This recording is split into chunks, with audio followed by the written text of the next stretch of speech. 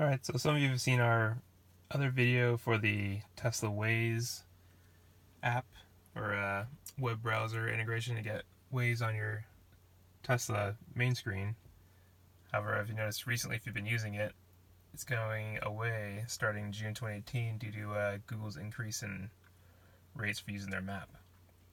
So that led me to start searching for a way to mount my phone without having to actually stick something on my dash um, or suction cup somewhere else. So I found this this vent one that clips in here to the vent.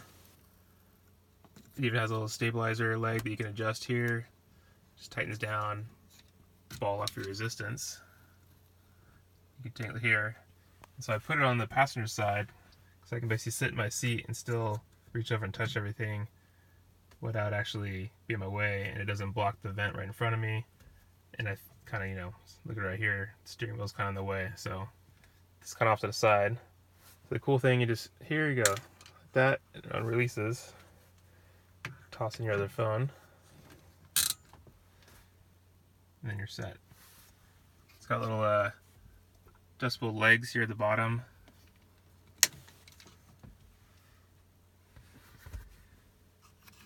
you can different size phones, but still leaves an opening so you can get into your charger. So I'm gonna give this a try. We'll come back and check a little bit after I use this guy for a while, but so far it seems like an easy in and out. I'll put a uh, link to this one. I've tried a few different ones. This one seems the most robust so far, but uh, time will tell. I've only had this thing for a day.